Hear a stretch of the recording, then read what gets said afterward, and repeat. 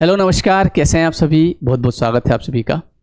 आप सोच रहे होंगे कि ये टॉपिक कहाँ से उठा के लाते हो आप? ये टॉपिक मुझे आपके ही द्वारा मिलते हैं। अभी मैंने कल एक सेशन लिया था तो ये एक मैं आपको रियल स्टोरी बता रहा हूँ मतलब। और ये स्टोरी इसलिए बता रहा हूँ क्योंकि जब मैंने सेशन लिया तो सामने वाले ने मुझे बोला कि, सर, इस पर एक आप वीडियो ज़रूर बनाइएगा, क्योंकि ऐसा बहुत सारे लोगों के साथ होता है और मुझे पता है कि मेरे पास भी ऐसे कम से कम चार से पाँच केस आए हुए हैं, जिसमें होता क्या है ना कि एक लड़का और एक लड़की दोनों प्रेम में होते हैं। लेकिन इधर जो है, या तो लड़के की शादी हो जाती है, या लड़की की शादी हो जाती है। जैसे मेरे पास जो केस आया था, मैं आपको रियल स्टोरी बताता हूँ। उसमें ऐसा हुआ कि एक लड़की का मेरे पास कॉल आया था। बोले, सर, हम दोनों एक दूसरे से प्रेम करते थे, लेकिन उस लड़के की शादी हो गई। अब शादी हो गई, वहाँ तक ठीक है, कोई बात नहीं। लेकिन सर, उसके बाद में हमारी जो बात है, वो कंटिन्यू रही, क्योंकि उस लड़के ने मुझे ये कहा कि मेरी शादी तो हो गई है। लेकिन मेरी और मेरी वाइफ के बनती नहीं है। और मैं प्यार तुझसे ही करता हूँ, है ना? तो एक सेकेंड ये इसको मैं थोड़ा सा ये कर दूँ। हम्म। तो उसने कहा कि मेरे और मेरे पत्नी के बनती नहीं है मतलब हमारे बात वैसी नहीं होती है, मैं प्यार तुझसे ही करता हूँ। अब यहाँ पे जो लड़की है, ये इस बात को मान लेती है। बोले कि, ओके, ठीक है मतलब उनकी शादी ज़रूर हुई है, लेकिन प्यार तो मुझसे ही है। यहाँ पे मैं आपको बताना चाहूँ अगर एक सच्चा प्यार करने वाला लड़का होता मतलब वो वास्तव में अगर उस लड़की से प्यार करता तो वो उससे बात कंटिन्यू रखता।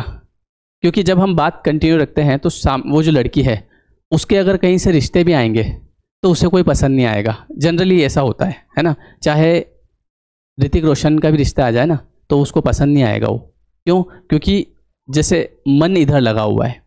तो अगर वो लड़का समझदार होता तो जब उसकी शादी हो चुकी है तो वो उसको, उसके हाल पे छोड़ देता है कि भाई, तू तेरे हिसाब से मतलब अब तेरे तेरा भविष्य देख आगे। वो उसकी खुशी चाहता। लेकिन लड़के ने क्या करा? उसको कॉल किया और बोला कि मेरी शादी ज़रूर हुई है, लेकिन मैं आज भी प्यार अब इसमें लड़की धोखे में है। है ना? आप मेरी बात समझ रहे हो? अब लड़की को ये लग रहा है कि ठीक है इट्स ओके और ऐसे करते करते उसने चार से पाँच साल निकाल दिए। चार से पाँच साल निकाल दिए। अब उस लड़की को ये समझ नहीं आ रहा है कि मेरा भविष्य क्या है मतलब। अब उसने कहा कि सर आज मेरी जो उम्र है वो थर्टी टू हो गई है और मेरे इतने रिश्ते आए लेकिन मैंने सबको मना कर दिया। है ना? जितने भी रिश्ते आए थे मैंने सबको मना कर दिया। ऑब्वियसली मना करेगी। मैंने क्या बोला? कितना ही बढ़िया लड़का आ जाएगा अच्छे परिवार से आ जाएगा पढ़ा लिखा आ जाएगा पैसे कमाने वाला आ जाएगा पसंद नहीं आएगा। क्यों? क्योंकि बात उधर चल रही है। तो मैंने उस लड़की को कहा मैंने कहा सबसे पहले तुम वहाँ से डिस्कनेक्ट करो। तो उसने कहा कि सर वो लड़का बोल रहा है कि, कि मतलब वो मुझसे बात करता है मतलब कंटिन्यू और उस लड़के के मतलब बच्चे भी हो गए, है ना? मतलब इतना टाइम हो गया ना पाँच छः साल। बच्चे भी हो गए, लेकिन वो बोल रहा है कि मेरी वाइफ से मेरी बनती नहीं है, मैं प्यार तुझसे कर रहा हूँ। तो यहाँ पे आप ये बात समझें कि अगर ऐसा केस होता है तो आपका भी अपना एक भविष्य है। अगर शादी हो गई तो उसे छोड़ो। और अब अपनी, जो देखो, जो हो गया, उसको लेके बैठने से कुछ नहीं होगा। मैंने एक वीडियो बनाया था कि आप जब हम कार चलाते हैं तो उसमें जो एक आईना होता है जिसमें हम पीछे देखते हैं तो उसमें पीछे लेके नहीं बैठे रहेंगे हम। हम पीछे केवल थोड़ी सी देर देखते हैं एक अनुभव लेने के लिए, है ना? तो पीछे के अनुभव से सीखो और हमको हमारी लाइफ में आगे बढ़ना चाहिए। क्योंकि मैंने आपको क्या बोला?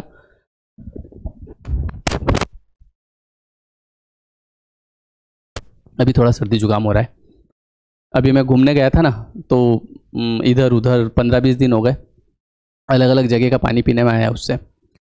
तो मैंने आपको क्या बोला कि अगर वो लड़का वास्तव में उससे प्रेम करता, ईमानदार होता, सही होता तो वो उस लड़की से कैसे भी करके डिस्कनेक्ट कर लेता।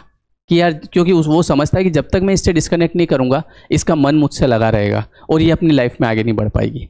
इसलिए आप ध्यान रखें कि अगर आपका जो साथी है, वो सही आदमी है तो वो आपसे बात कंटिन्यू नहीं करेगा। वो आपको कैसे भी करके छोड़ देगा ताकि आप अब मेरा इधर देखो उस लड़के की तो शादी हो गई। तो कम से कम वो ये चाहेगा कि उस लड़की की भी अच्छे से शादी हो जाए और वो खुश रहे। इसलिए कई लोग ऐसे होते हैं जो कंटिन्यू बात को चालू रखते हैं है ना? और आ, कई बार जैसे किसी लड़के ने बोल दिया कि भाई मेरी पत्नी से बातचीत वैसी नहीं होती है मैं प्यार तुझसे करता हूँ। तो इस चीज़ का क्या भविष्य आगे?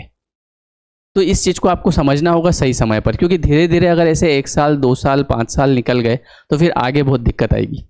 है ना? तो ये वीडियो बनाने का उद्देश्य यही था कि अगर ऐसे और भी कोई लोग हैं जिनके लाइफ में ये चल रहा होता है, क्योंकि आजकल प्रेम नॉर्मल बात हो गई, है ना? सबको होता है। कई बार तो होता नहीं है, कर कर लिया जाता है प्यार, क्योंकि यार मेरी सहेली की भी है बॉयफ्रेंड इसके भी है, उसके भी है, या मेरी, मेरे दोस्त के भी हैं, सबके गर्लफ्रेंड है तो एक काम करता हूँ, मैं ही बना लेता हूँ। तो आजकल क्या बनाया ज़्यादा जाता है? पहले क्या होता था प्यार, है ना? प्यार किया नहीं जाता, हो जाता है। लेकिन आजकल क्या है? आजकल किया जाता है, किससे करूँ? कोई, जैसे ऐसे ऐसे भी लोग होते हैं, बोले तेरा कोई, तेरी कोई फ्रेंड हो तो उसके नंबर देना। ऐसे भी होता है आजकल प्यार, फिर उससे फ्रेंड से अभी शक्ल नहीं देखी है उसकी अभी फ़ोन पे बातचीत चलेगी और प्यार भी हो जाएगा। और सामने वाले को भी ऐसा लगेगा कि ये मेरा सच्चा प्यार है। तो थोड़ा सा अपना भविष्य भी देखो, है ना? वो देखना ज़्यादा ज़रूरी है। मतलब आप दिल का यूज़ करो, लेकिन साथ साथ में दिमाग का यूज़ करना भी ज़रूरी है। नहीं तो ऐसा नहीं हो कि पता चले कि आप उसी व्यक्ति के पीछे पड़े ही हैं, है ना? उसकी बातों में आ ही रहे हैं और धीरे धीरे इधर आपका भी समय निकल गया है, क्योंकि आपकी भी अपनी लाइफ है।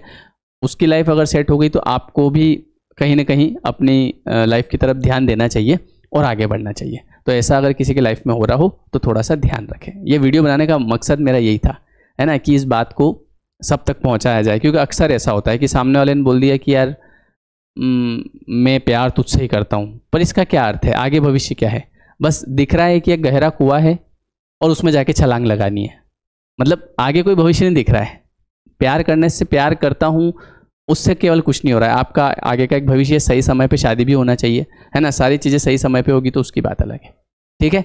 आपकी क्या राय है? कमेंट बॉक्स में मुझे बताइएगा इस बारे में, क्योंकि सबकी राय अलग अलग होती है। मैंने तो अपना एक बता दिया जो कि मेरे पास काउंसलिंग में आते हैं। है ना? और अभी जो 21 डेज़ का कोर्स है, वो अभी हम 15 से शुरू करेंगे। कभी 15 से अगर नहीं हो पाया तो उसको 20 तारीख से शुरू करेंगे, ठीक है? डिस्क्रिप्शन में आपको लिंक दिया, आप ज्वाइन कर लीजिएगा। ओके एवरीवन सो मिलते हैं नेक्स्ट वीडियो में। मुझे कमेंट करके बताइएगा कि इस बारे में आपकी क्या राय है, ठीक है? Thank you thank you so much